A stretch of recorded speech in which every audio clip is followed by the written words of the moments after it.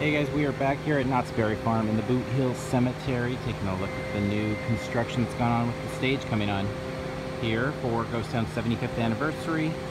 Obviously, this is part of our ongoing series of videos documenting all the work being done to celebrate Ghost Town's 75th anniversary here at Knott's Berry Farm. So, nice touch-ups to all the buildings along the train tracks